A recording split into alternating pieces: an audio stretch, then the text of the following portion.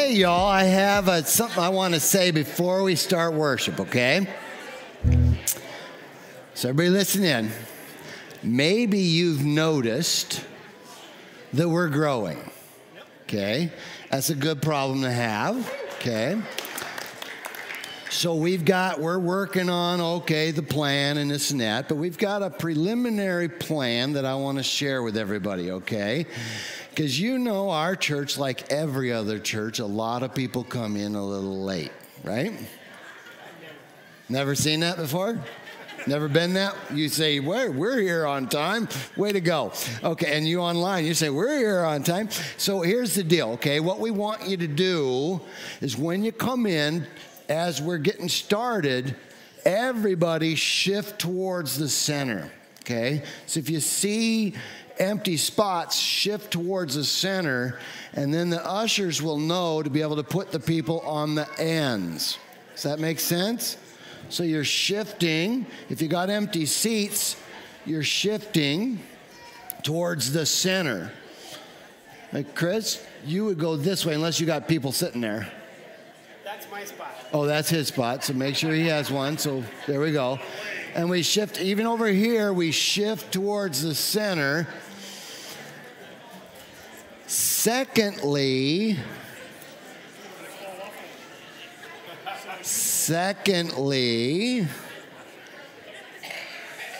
we have the balcony. So you can use the balcony. That's a great thing to use. Okay. So. So yeah, yeah, yeah. And the balcony does fill up too, but there's always extra room up there, okay? Especially for ushers, remember that. Always. And the front seats, although you guys are doing pretty good, you know, this is uh, the front seats are there too, okay? Then there was one more thing. The handicap. Oh yeah, yeah, yeah. The handicap, okay, those two rows back there, that's reserved for handicap and people that are with them okay? So, like if a wheelchair comes in, then we remove a chair and the wheelchair goes there, okay? But don't move any chairs. Other than those. Other than that one, let them do that, but don't move. So, we don't want to put chairs back there because we have a law that we have to have a four foot thingy there, okay? So we don't want any stampedes and this and that. So don't move the chairs, all right? So that's what, so, but those, when someone in a wheelchair comes in, we just remove one of those chairs, the wheelchair fits right in, okay? And then we have space for those who are accompanying them too, okay? And, uh, and that's what we're gonna do from now on, right? You're all gonna shift towards the center, and, uh, and, and that's great. Okay. Thanks, Larry. You betcha. I don't think Larry was trying to make a political statement there. So just just to clarify, you know. All right. Please stand.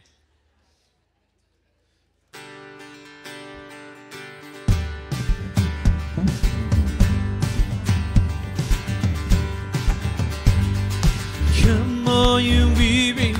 Come on, you thirsty. Come to the well that never runs dry. Drink of the water. Come and thirst more. Come, all you sinners. Come find His mercy. Come to the table. He will satisfy. Taste of His goodness. Find what you're looking for. For God so loved the world that He gave us His one and only Son to save us. Whoever believes in Him will live forever. Bring all your failures, bring your addictions. Come lay them down at the foot of the cross. Jesus is waiting there with open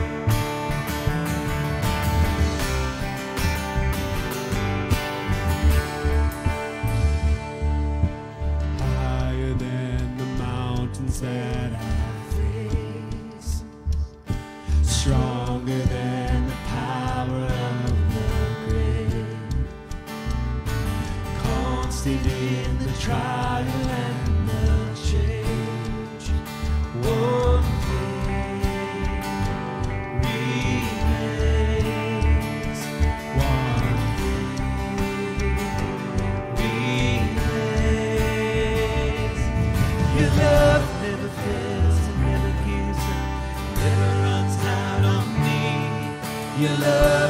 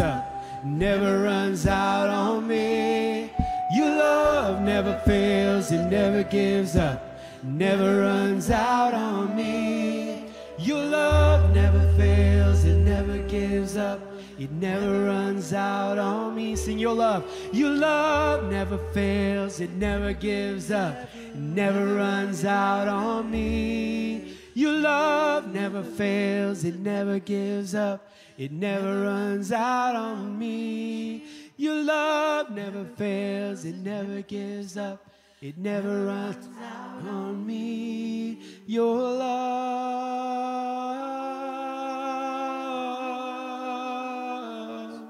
your love.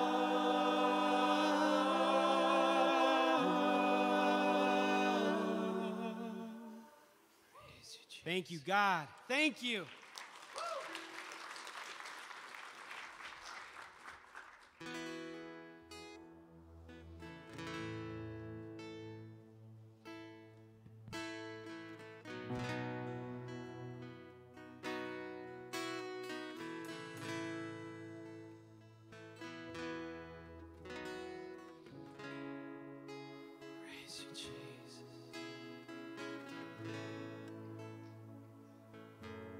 just want to see you. We just want to know you.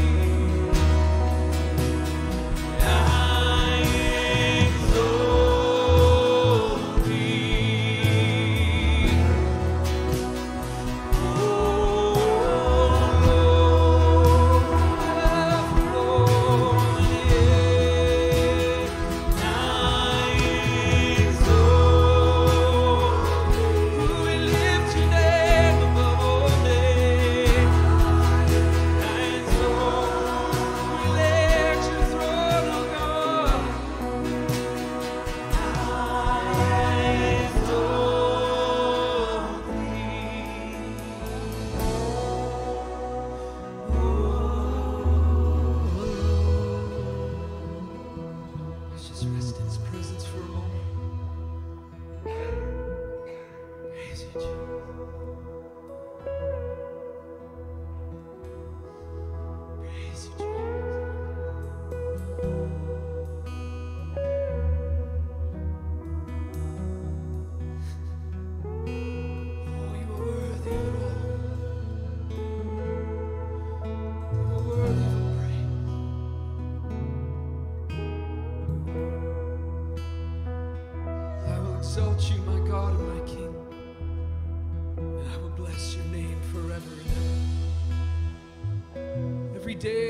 Bless you and praise your name forever and ever, for great is the Lord and greatly to be praised.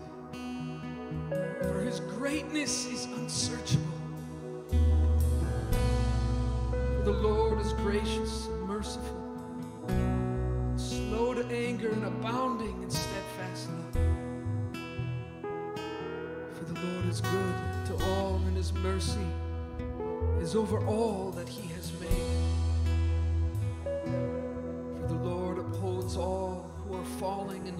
raises up all who are bowed down. For the eyes of all look to you, and you give them their sustenance in every season. For you open your hand, and your saints are satisfied with your every good thing. The Lord is righteous to all those who are His. In all of His ways and in all of His works, the Lord is near to all who call upon Him. And He fulfills the desire of those who fear Him. And He hears their cry, and He saves them. For the Lord preserves all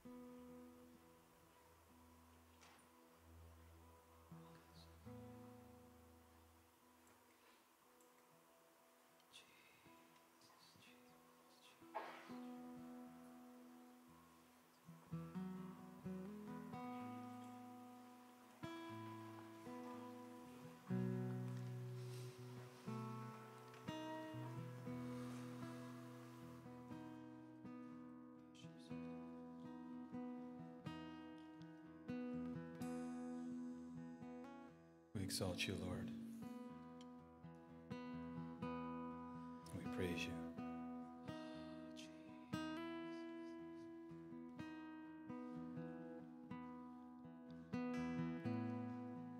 you. Just let your hearts beat before the Lord. Let your lungs breathe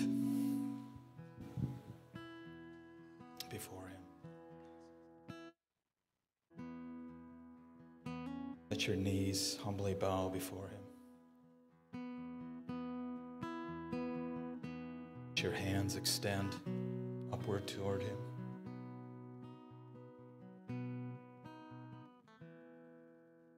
Let your- Let your lips praise Him. Cry out. Father, we extend our whole being. Praise you.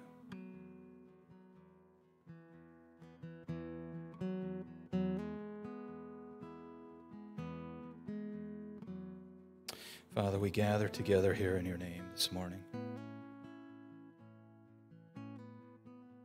Awesome, awesome promise, knowledge This isn't just rhetoric or theology, but that you are there in our midst when we gather together in your name. What's there heaven for? But it's not to be grasped. Though we see through a glass dimly, we know in part, we have that hope that we'll see face to face. But meanwhile, in this time between your first advent and your second coming, in this church age, let us not squander so great a salvation that although the battles continue to rage, there is tribulation, there are also times of victory. Your cross says so. That justice was established. There are times of victory. At other times, Lord, you mete out justice and you send judgment truth. Again, based on the ju- judgment of the cross, the justice of the cross. Forgive us for living as paupers and falling so far short of the very things we can have, the very things we do have, but don't walk in them. Father, this week I ask, because I know your Holy Spirit in and through us, that you would open our eyes not to what we lack, but to what you just did through us in our day to day moments, moment by moment, our encounters with one another, that it is an expression of those giftings of the Holy Spirit. We don't have to mount up, proclaim, and make it into some sideshow. But your Holy Spirit breathes, perhaps even in this day, this morning, prophetically, wisely, intuitively. The gifts are among us and moving among us. In order that one another in this place would be built up, would be edified. And what does that mean? That my brother, my sister next to me would just fall in love, head over heels in love with you. We have a Father. In spite of what we've experienced as an earthly Father, we have a Father who is just and pure, holy and consistent. He's the same yesterday, He's the same today, tomorrow, and the next. Won't be something today and then something different tomorrow. So, Father, we love you this morning. We lift up all of the churches in central Minnesota that proclaim your name. And we ask that your Spirit would pour down upon them. It's no longer about our performance, it's simply about obedience, trust, faith, love.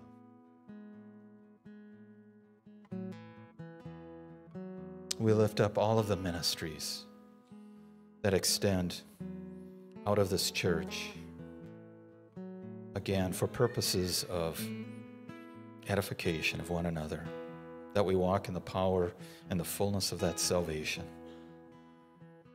Cross and resurrection and the sending of the Holy Spirit has granted us. Wow. Father, we, we lift up those who are under the weather, great or small. So great a salvation suggests that we can come to you boldly ask for healing. If you know somebody next to you that needs healing, we may think great or small, but it doesn't matter to God.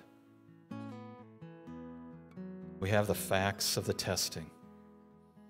But Lord, we let your word dictate even the facts, not the other way around. So we pray for those with cancer, and we do rebuke that illness. We pray for deliverance from those illnesses. We pray that those beloved would be set free once and for all.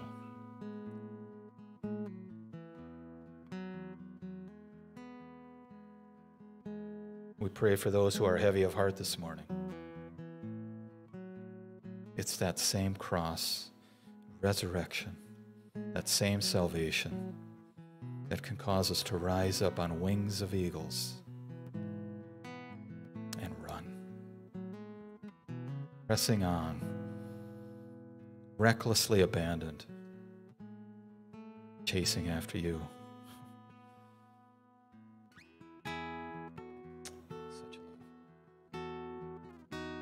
Father, we praise you. We also lift up our brother Larry that he might come up and in his word, your spirit be upon him, and that there would be shepherding through him by the great shepherd. Again, that people would walk out of here today different. Why not? Because you're here in our midst. So we praise you and we worship you and we adore you. Jesus' name.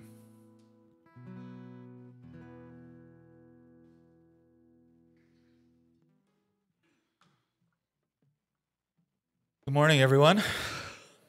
Hallelujah. He's here.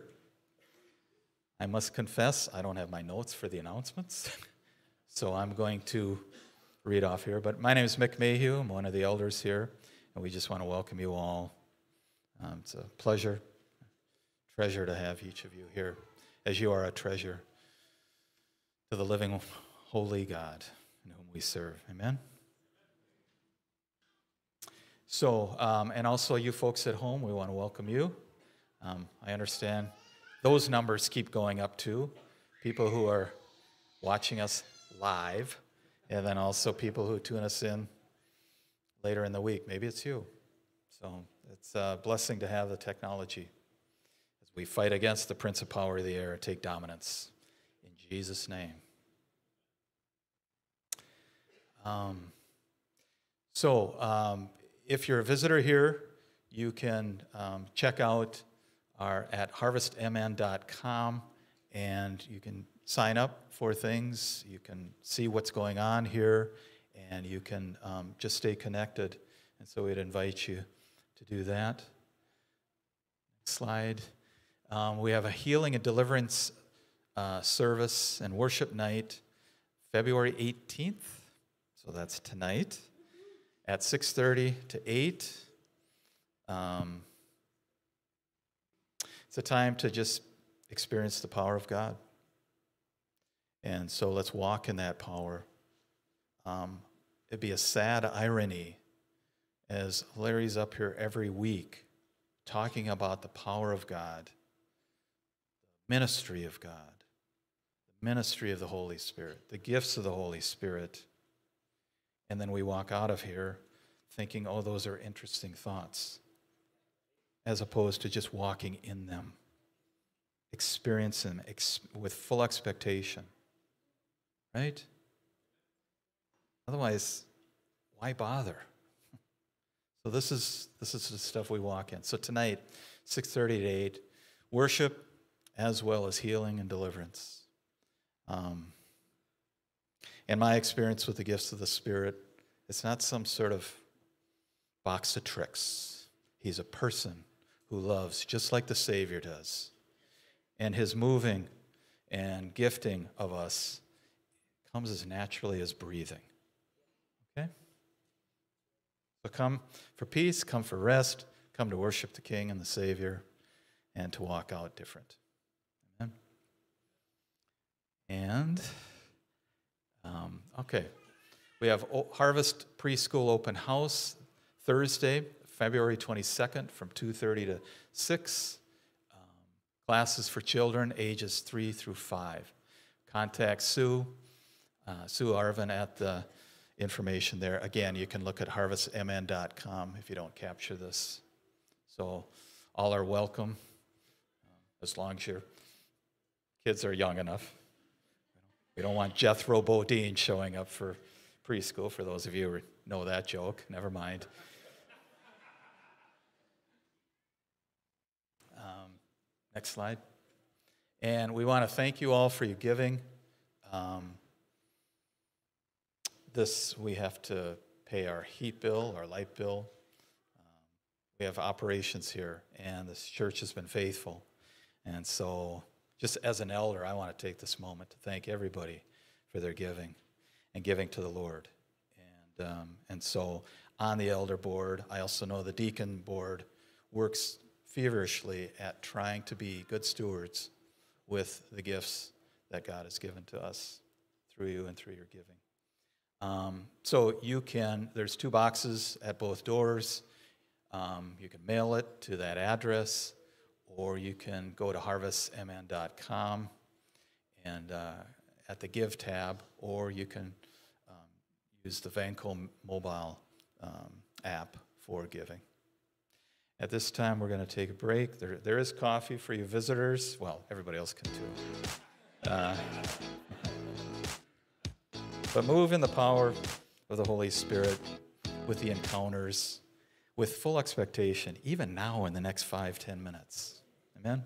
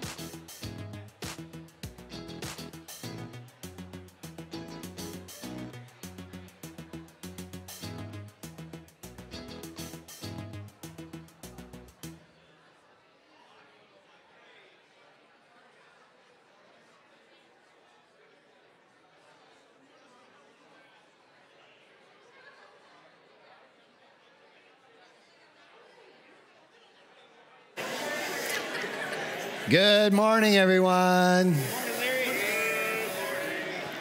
Good morning. Welcome to Harvest Fellowship. Did y'all know that God is great? Like, like all the time, right? And all the time And all the time, He is great. Is that right? We have an incredible God. And in fact, in the Bible, more than one place, it says nothing is impossible for Him.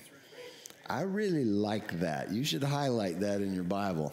Nothing is impossible for him. He is a great God, and he pours out his love upon us. I hope that you got a little bit of the the love poured out on you while we were worshiping this morning.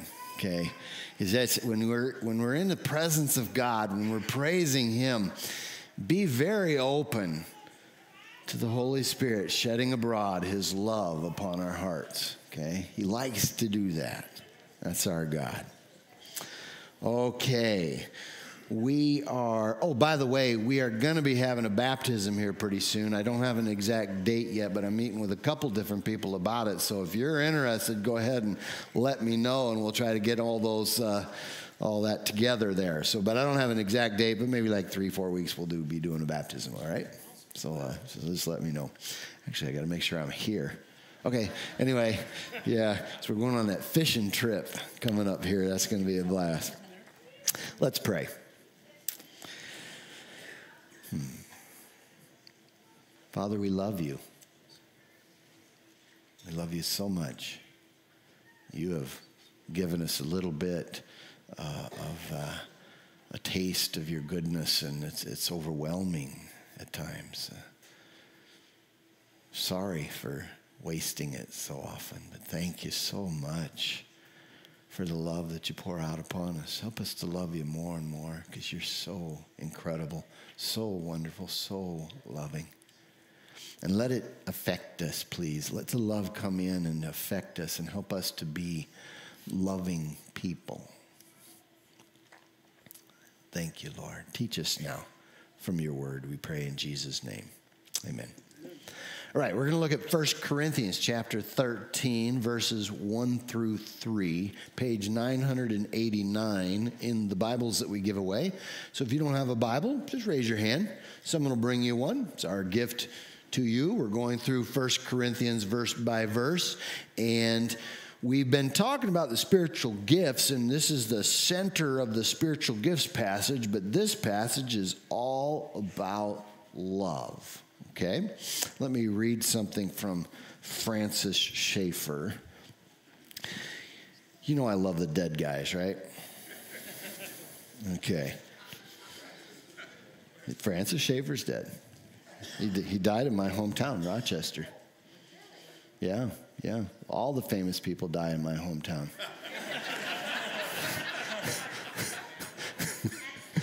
they, they, they have a t shirt there, Rochester, Minnesota, where all the sick people go. anyway, okay, you sidetracked me there. Let's, I want to read from his book, The Mark of the Christian. He says this Through the centuries, men have displayed many different symbols to show that they are Christians. They have worn marks in the lapels of their coats, hung chains about their necks, even had special haircuts. Of course, there's nothing intrinsically wrong with any of this if one feels it is his calling. But there is a much better sign a mark that has not been thought up just as a matter of expediency for use on some special occasion or in some special era. It is a universal mark that is to last through all the ages of the church until Jesus comes back. What is this mark? At the close of his ministry, Jesus looks forward to his death on the cross, the open tomb, and the ascension. Knowing that he is about to leave, Jesus prepares his disciples for what is to come. It is here that he makes clear what will be the distinguishing mark of the Christian. And this is in John chapter 13, 33 through 35. He quotes Little children, yet a little while I am with you. Ye shall seek me, and as I said unto the Jews, Where I go, you cannot come. So now I say to you, a new commandment I give unto you, that you love one another as I have loved you. And you also love one another. By this shall all men know that you are my disciples if you have love for one another. And so we see here this incredible love, that love is the true mark of the Christian. Now, the great chapter of love, chapter 13, how many of you had at least a portion of this chapter read at your wedding, or at least you might remember, okay? It is the wedding chapter, isn't it? Okay? And that's perfectly okay. I do believe that's a secondary understanding of the chapter is on love, what is love, and so marital love, etc. But the context here is the spiritual gifts. So here we see sandwiched in between chapter 12 and chapter 14, which are all about the spiritual gifts, he's saying love is central to that. In fact, he segues into it if you skip back to chapter uh, 12, the last part of the last verse, he says, I will show you an even better way. And here is the way that we see in our passage. Let's look at our passage, 1 Corinthians chapter 13, verses 1 through 3. If I speak human or angelic tongues, but do not have love, I'm a noisy gong or a clanging cymbal. If I have the gift of prophecy and understand all mysteries and all knowledge, and if I have all faith, so that I can move mountains, but do not have love, I am nothing. And if I give away all my possessions, and if I give over my body in order to boast, but do not have love, I gain nothing. Now remember, he's talking to the Corinthians. And he's making this point gifts without love is useless.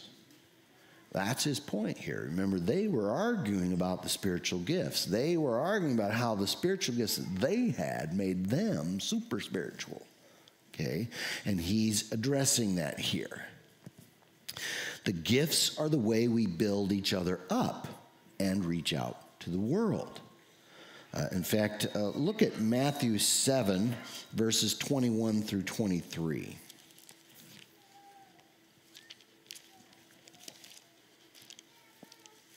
Here, Sermon on the Mount, just at the end of the Sermon on the Mount, verses 21, he says, Not everyone who says to me, Lord, Lord, will enter the kingdom of heaven, but only the one who does the will of my Father in heaven.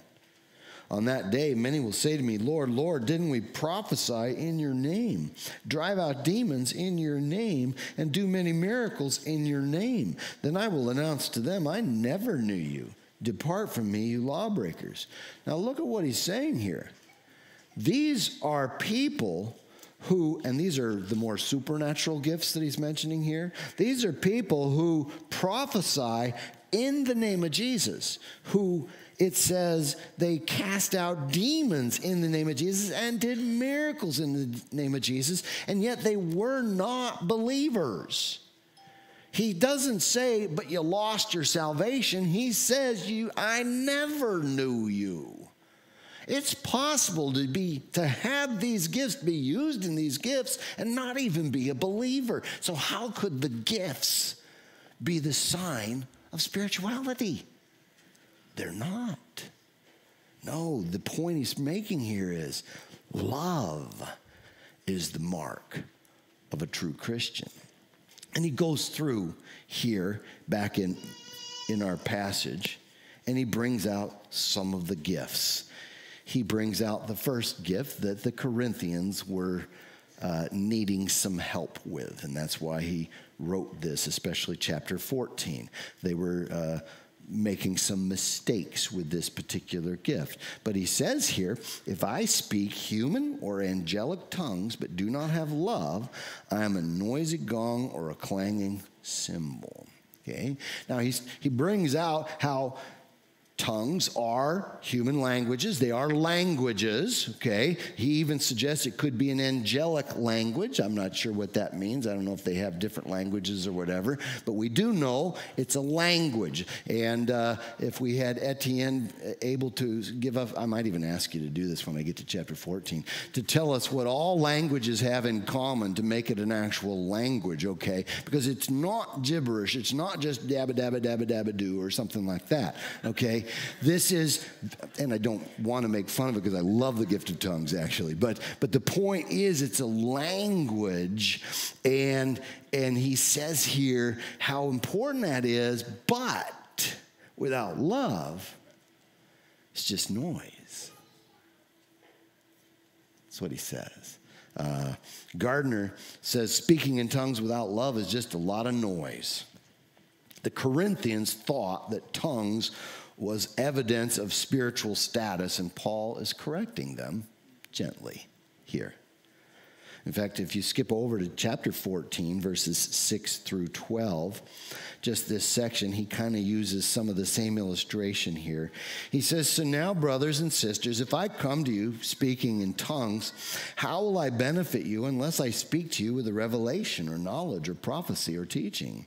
Even lifeless instruments that produce sounds, whether flute or harp, if they don't make a distinction in the notes, how will what is played on the flute or harp be recognized? In fact, if the bugle makes an unclear sound, who will prepare for battle? In the same way, unless you use your tongue for intelligible speech, how will what is spoken be known? For you will be speaking into the air. There are doubtless many different kinds of languages in the world. See, it's a language.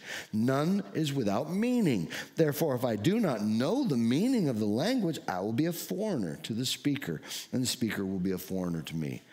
So also you, since you are zealous for spiritual gifts, which is a good thing, seek to excel in building up the church. Love, this is how we put love with tongues. Love thinks of others first. Love seeks to build up others. If there's an interpretation, that's going to build up others. But if not, it just builds yourself up. Motive is critical here. Motive. We're going to see that in all of these. Okay, so we see tongues. We'll talk more, a lot more about tongues when we get to chapter 14.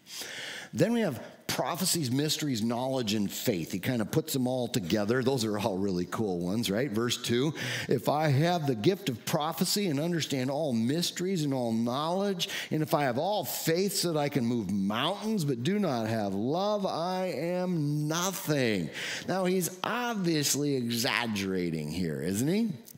He is, we know that because later on he goes on to say in the very same chapter, I don't have all knowledge.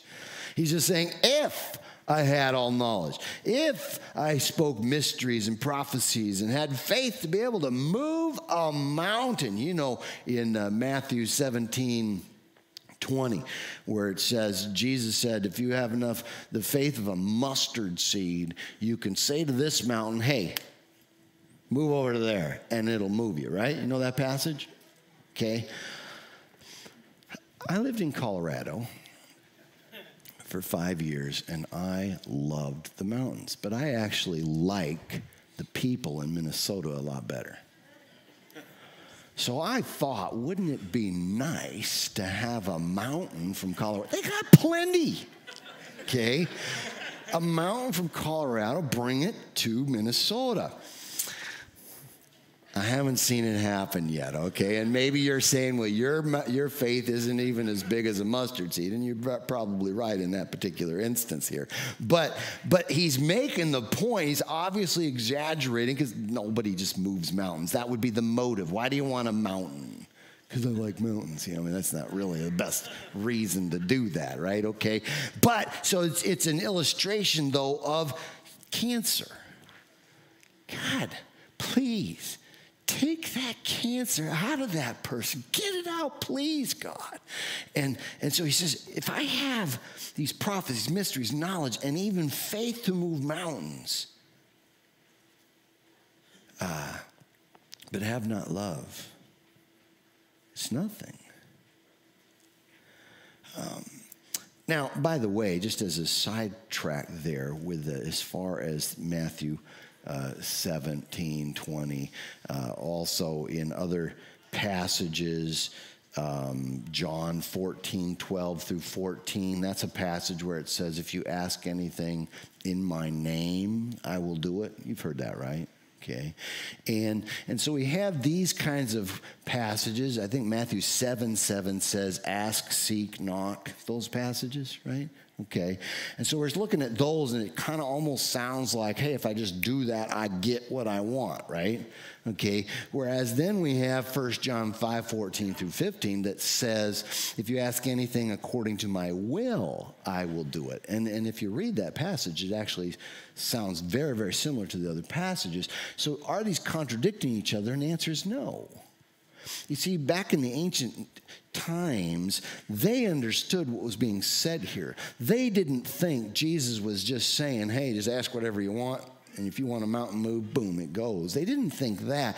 They knew it was under his authority. To say or ask something in the name of Jesus is to come under the authority of Jesus. So it's the same thing as asking in accordance to his will. Okay? And so uh, the passages don't contradict each other, but they do encourage us. You see, sometimes we don't know what to ask for. And so we ask, right? Lord, do this.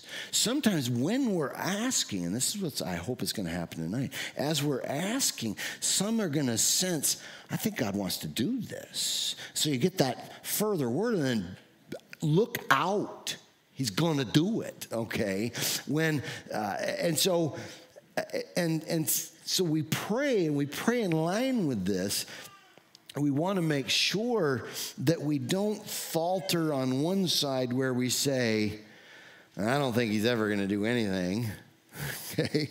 At the same time, let him be Lord. It's, you know, if he sees fit to wait, etc., that's okay, right? So it's the now and not yet of the kingdom.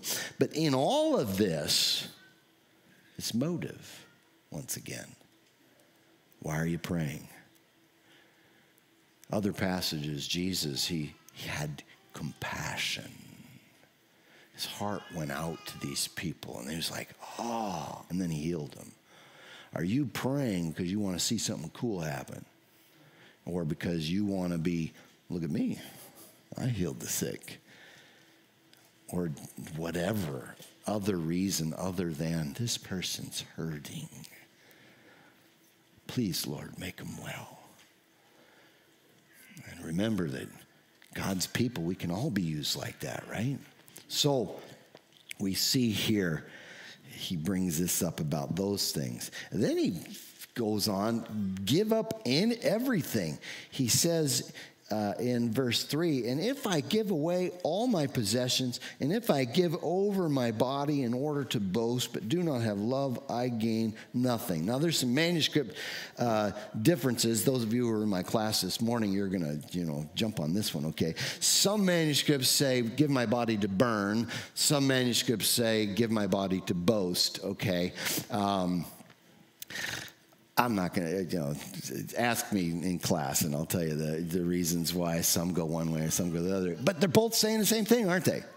If I give up my whole life, if I give up everything, is it possible to sacrifice your life for someone else without love? Apparently, right? Motive. Motive. Is it because of love? Look at Psalm 51, verse 6. Psalm 51, by the way, is a marvelous passage. If you sinned and need to know how to repent, Psalm 51 is David repenting of his sin with Bathsheba. And it is a beautiful psalm that gives us some of the parameters on how we can pray to God in that, in that regard. But there's a curious little verse stuck in the middle here, verse 6, that I want to read. Look at what it says. It says, Surely you desire integrity in the inner self and you teach me wisdom deep within. Both of those words mean deep in there, inside, in my heart. Motive. It's all about the heart. Does it stem from a heart of love or does it stem from anything else? Love is the mark of a Christian. You see, in looking at this whole passage, gifts without love reduces you to noise, to be nothing, and to gain nothing, according to this passage. We dare not miss that. That's the whole point. Because then, and that brings up the question though what is love, doesn't it? Okay. Now, next week, we're going to see, he's going to say, here's what love does. All right? Here's what love does in action. So we're going to see love in action, but I want us to know now what does the author mean by love? Because I don't know if you've ever watched um, Hallmark. Sometimes I'm questioning whether they really have an accurate understanding of love. But maybe they do, you know. Every single movie is the same thing. Ah. Anyway, okay. But they're all nice, aren't they? Aren't they all nice? Yeah, okay. All right, so let me help us, help us to understand here. And my point is, the world is not the best at helping us understand what love is. In the Hebrew and in the Greek, I'm going to give you three words here, okay? What is love? We have ahav, chesed, and agape. The two are, the first two are Hebrew, the last one is Greek. There's several, four major words, five actually, of Greek that, that refer to love, but the, mo- the most important one there is agape. But let me share with you a little bit about these words, okay? Ahav, that in the Hebrew, that's almost more of a generic term for love, but it's love where you delight in. This is the kind of love that human beings love each other. They delight in each other. Now, chesed, that word is used for God's love for us. It's the most often used word for God's love when it, when it refers to that, okay? And chesed means loyal love. It's covenantal love, where God, when He makes a covenant with you, if you have repented of your sins and placed your faith in Jesus Christ as Lord and Savior, outwardly expressing that in baptism, if you have covenanted with God, what we call the new covenant, okay, that's the loyal love. God will honor that covenant. We, we sang about it this morning. God will honor that covenant. He is, a lo- he is loyal to that covenant love. So there's covenant love. And then agape. Now, this is kind of an interesting word because it was a word in first century Greek that wasn't used very often. So the Christians, for all intents and purposes, adopted it and breathed new meaning into it. And the new meaning that they breathed into it was unconditional love. I don't love you because, I don't love you if, I just love you period. And that's how you can even love your enemies etc it is unconditional love. You put all these three together though and you have a love where we delight in we are loyal to and it's an unconditional love for god for each other, right? Okay? So, thus, the passage here in 1 Corinthians 13. Love is the chief of the affections. Now, the word affection, you probably don't use it too often. You probably use emotions. Is that correct? I'm not talking about emotions. The Puritans understood the difference between affections and emotions. The emotions were the little fluttering on the skin that you feel. The affections were the deep seated wow that you experience, okay? And love was the chief affection. The opposite of that was hate. Those are the two major affections, love and hate. But love, far more than just a feeling, far more than just, uh, you know, I'm hooked on a feeling. Anybody remember that song? Okay. Okay. No. Okay. The Puritans understood this so well, and so did the New Testament writers. In Philippians 1 8, Paul uses the word uh, affection. Uh, in the Greek, it's splanchna. Okay, it's hard to say. Splanchna. Okay, what's really fascinating in the Old Testament. Okay, most of you, most the, the time when it's translated is translated heart, and you think it's heart. Lev is the Hebrew word for heart, but most of the time it's not heart. It's kidneys. Kidneys were seen as the, the, the deep center of the affections of the heart. Okay, uh, so, so, the kidneys. In fact, in the Old Testament, sacrifice is kind of uh, fascinating to me. Okay, have you ever read those in Leviticus? You chop up the animal and you put parts here, parts there. Okay, the parts you burned that you offered to God was always the fat and the fatty lobe of the liver, so just that little top part, and the kidneys. He always liked the kidneys. Isn't that something? Okay. So so there's that. But the affections, and that's just their way of saying this is what we mean. For us today, we typically say the heart, but we mean some deep down true affections of love and joy, etc. So now I want to read some passages of scripture, and I want you to feel some of these affections, okay? So please let all guards down, okay? We're reading scripture, so it can't hurt you. And, uh, and just listen to these how the authors of the Psalms talked to God. Psalm 63, verses 1 through 8. This is a beautiful, beautiful psalm. 63 is a uh, psalm of David when he was in the wilderness of Judah. So he's, he's hiding from Saul, trying to get him. Look what he says here Psalm 63 God, you are my God. I eagerly seek you. I thirst for you. My body faints for you in a land that is dry, desolate, and without water. So I gaze on you in the sanctuary to see your strength and your glory. Now he's talking about corporate worship in the sanctuary. My lips will glorify you because your faithful love, that's chesed, your faithful love is better than life. So I will bless you as long as I live. At your name, I will lift up my hands. This is biblical. Right there, right? This is, this is biblical, okay? Out of his love, he just couldn't help it. I will lift my hands. You satisfy me as with rich food. Now, in the Hebrew, it's literally fat and fatness. okay? You satisfy me as with fat and fatness. Yes. You know, a good steak that, that has like a like a, a vein of fat in there, and then you, you cook it just yeah. That's what we're talking about here. Okay, all right, all right. My mouth will praise you with joyful lips when I think of you, as I lie on my bed. I meditate on you during the night watches because you are my helper. Here we're entering into private worship.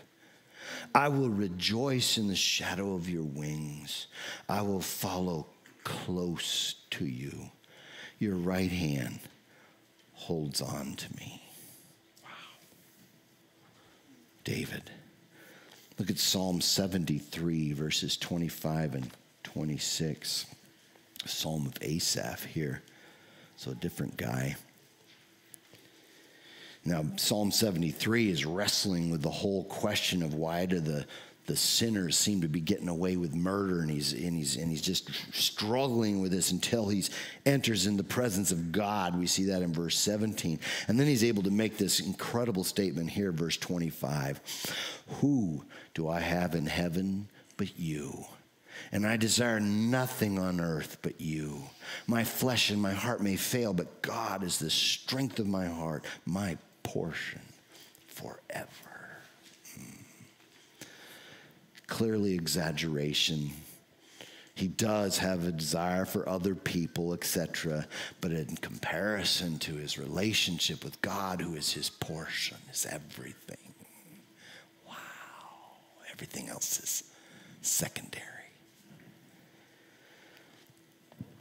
Um, this particular passage, uh, I'm going to talk about this. Uh, well, I'll just talk about it now. This particular passage is what uh, the the Puritans used in their Westminster Catechism. You ever heard of the Westminster Catechism? A few of you, okay. Well, the Westminster Cate- Catechisms basically are little instruction manuals that you help people understand a few things. You, know, you, you learn, here's the question, here's the answer. We train our kids, but even adults, you know, to kind of have some of the basics of the faith. They're actually really good, and they've been used for centuries and centuries and centuries by the church, okay? Well, the Westminster Catechism was the, the, uh, the Puritans used that and they start out with this one question, the first question of all What is the chief end of man? Okay. Now, what that means is, to translate it into modern English, what's the main purpose for us? Why are we here? What is the chief purpose for humans? Why am I on this planet?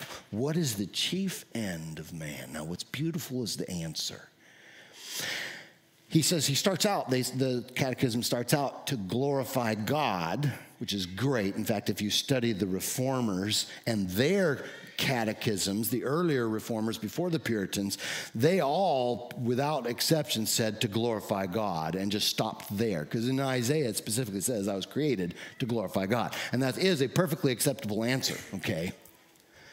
But the Puritans, because they had affections for God. They loved God. They didn't just know about Him, they were just in rapture in His presence and love with Him. And they added something. They said the chief end of man is to glorify God and enjoy Him forever. Wow. To enjoy Him, to delight in him. Their affections were stirred to truly love God. And you might wonder, where did they get that from the Bible? Because believe it or not, they have commentaries on their catechisms. Which is actually, I mean, to be honest, it's actually pretty fast. I've read all, you know, I've read all these things, okay, because I just love this stuff, okay. Well, anyway, commentaries, they explain this, okay, they and they show the Bible passages. This is the passage they use. Whom have I in heaven but you? You're my everything, God. I delight in you. Of course, that's the reason for my existence to love you, to delight in you. Because, and they would explain this in there, they would say, when you glorify God, the best way you can glorify God is if you, if you glorify Him while enjoying Him. Okay? Because you could just praise God, couldn't you? Praise you, Lord. But if it is from the depths of your heart where you are just madly in love with Him, you're just like, praise you, Lord, God gets more glory. See that? To glorify and enjoy him forever. That's from this passage here and others. Look at another one. Look at 43, verses 3 and 4. He says, Send your light and your truth. Now, this is very important to start out here with, okay? Send your light and your truth because your affections can be swayed in the wrong direction, can't they? Right? Utterly important we get this. Got to have the truth to keep, make sure our affections aren't in the right arena. Okay? So send forth Send your light and your truth. Let them lead me. Let them bring me to your holy mountain, to your dwelling place. And here's where they're going to lead you. Then I will come to the altar of God, to God my greatest joy. I'll praise you, the lyre, God, my God. When the truth leads you to the true God, it's easy to say, You are my greatest joy. when you love your spouse, you don't just say, I love you. Oh, by the way, I told you at our wedding, I love you. If things change, I'll let you know. No. Mm-mm. When, when your spouse hears you because they sense it, they see it from your heart, I love you. And they see that and they get that. Like, he really does. And, and isn't that good? That's God too. He wants us to love him. Let me read Thomas Vincent, another Puritan dead guy. Um, he, uh, his book, oh boy, The True Christian's Love to the Unseen Christ, gold. This, uh, he starts out and he gives this definition of love. I'll just read the first part. Concerning the love which true Christians bear unto this unseen Christ, love is the going forth of the hearts unto the object beloved. And the love which true Christians bear unto Jesus Christ is a grace wrought by the Spirit in their hearts, whereby, upon discovering and believing apprehensions of Christ's infinite loveliness and excellency, his matchless love, grace, and mercy, their hearts go forth towards him in earnest desires after union to him and communion with him, wherein they take chief complacency. This is accompanied with a yielding and dedication of themselves unto his will and service. But you see, when they get a glimpse of God's goodness, of his glory, and they get a taste of his goodness and love, it draws them to where they've got to have more of you, God. I want to be in your presence where I can say, You are my greatest joy. This is what love is. This is why it's so much more important than the spiritual gifts. Now, we're going to get back to the gifts, they're absolutely critical critical in our service to God, critical in bringing about the kingdom of God. Absolutely essential, but we can't miss it. He's stuck chapter 13 in between chapter 12 and chapter 14. We've got to know love before any of the rest of it is right, okay? Love is the end goal. Love is the end goal. You know the passage of scripture in Mark chapter 12 where the uh, person comes up to him and asks him, What is the, the greatest commandment of all? And he quotes the Shema and he says, To love the Lord your God with all your heart, soul, mind, and strength, right? To love God, that's the greatest command of all. That's it, that's the chief goal. Look at Galatians chapter 6, verse 10.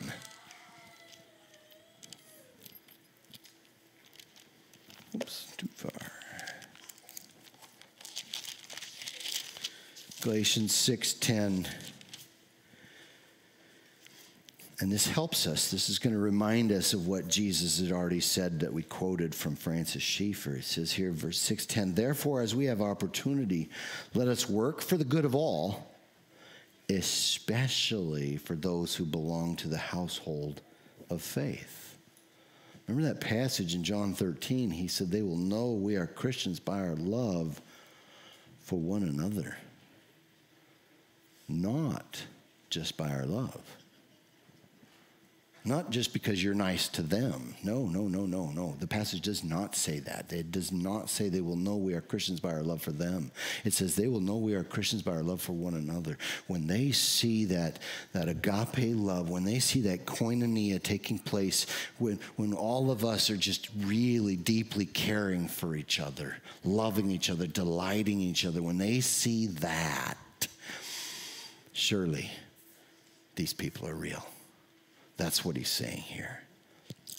Especially those who belong to the household of faith. And of course, we love the world. We want to reach them for Christ so that they could become a part of the family. We want a bigger family, don't we?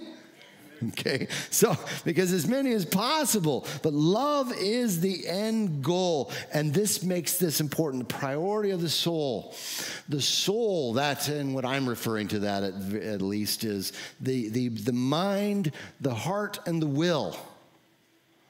Uh, better, the mind, the affections, and the will. the soul. There's a priority in all these, so I'm going to read to you R.C. Sproul. Okay. He's dead, so I can read him. R.C. Sproul, he says this There is a primacy of the mind in the Christian faith. There is also a primacy of the heart in the Christian faith. Surely that paradoxical declaration sounds like a contradiction. How can there be two primacies? Something must be ultimately prime. Of course, we cannot have two different primacies at the same time and in the same relationship. When I speak of two different primacies, I mean with respect to two different matters. Okay, that's your philosophical stuff. Now get to the meat here. With respect to the primacy of importance, the heart is first. If I have correct doctrine in my head, but no love for Christ in my heart, I have missed the kingdom of God. It is infinitely more important that my heart be right before God than that my theology be impeccably correct. However, for my heart to be right, there is a primacy of the intellect in terms of order. Nothing can be in my heart that is not first in my head. How can I love a God or a Jesus about whom I understand nothing? Indeed, the more I come to understand the character of God, the greater is my capacity to love him. Not necessarily to love him, but the greater the capacity is there. The more we get to know the real God, the more capacity we have to love him. So we have to have, we have, to have the truth, but that's a means to an end. The end is to love God and love each other. Okay? Um, that's what Sproul is saying. I, I like to add that third one the will, the actions. There is a primacy there of immediacy. This world is not going to last much longer. We need to get out there and share the gospel with unbelievers. Okay, so that is critical, but it's all true. Feed my mind with His Word. Let it move my heart to love Him and love others, and then get out and do the work that God has called me to do as I discover my spiritual gifts, etc. Okay, remember 1 Corinthians 13 is in between chapter 12 and chapter 14. And by the way, in heaven, we will love God and each other forever. Oh man, is it going to be good? We won't get to witness though. Okay. There's work to be done while we're here, but oh, please don't just do the work. fall in love with Him.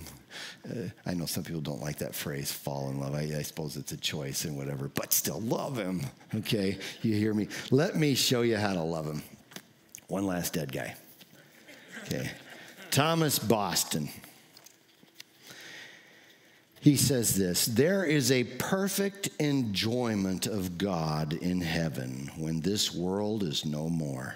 This consists in, number one, an intimate presence with Him in glory. Psalm 16, 111, in His presence is fullness of joy, and at His right hand there are pleasures forevermore. That's in the Bible. God himself shall be with them, and they shall ever be with the Lord, enjoying his glorious presence, brought near to his throne and standing before him where he shows his inconceivable glory. Number two, in seeing him as he is. 1 John 3, verse 2. They shall have a full, a satisfying and never ending sight of God and of all his glorious perfections and excellencies, and they shall be ravished with the view thereof forever. Don't you love the way he writes? I do. Where was I? Let's see here. I lost my place. Uh, there we are. Number three, in a perfect union with him, Revelation 21 3, he will be their God. They were united to God in Christ here by the Spirit and faith and made partakers of a divine nature, but then only in part. But in heaven they shall perfectly partake of it. There shall be a most close and intimate union between God and them. God shall be in them and they in God in the way of a and most perfect union, never to be dissolved. Number four, in an immediate, full, free, and comfortable communion with Him, infinitely superior to all the communion they ever had with Him in this world, and which no mortal can suitably describe. Lastly, in full joy and satisfaction resulting from these things forever. Matthew 25, 21. The presence and enjoyment of God and the Lamb shall satisfy them with pleasures forevermore. They shall swim forever in an ocean of joy, and every object they see shall fill them with the most ecstatic joy, which shall be ever fresh and new to them, though all through all the ages of eternity.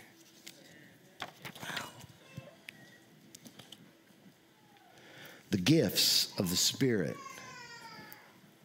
are to be used to advance the kingdom of God by building up the church and reaching out to the world. They are a means to an end, which is to help people glorify, enjoy, and love God together forever. That's what we want to do. The gifts without love are nothing. Let's pray.